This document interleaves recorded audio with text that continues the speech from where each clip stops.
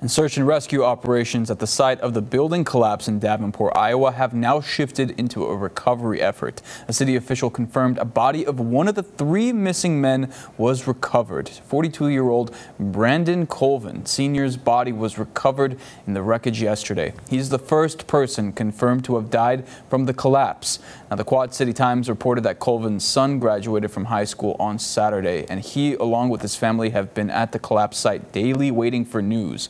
The two other men, 51-year-old Ryan Hitchcock and 60-year-old Daniel Prien, are still unaccounted for.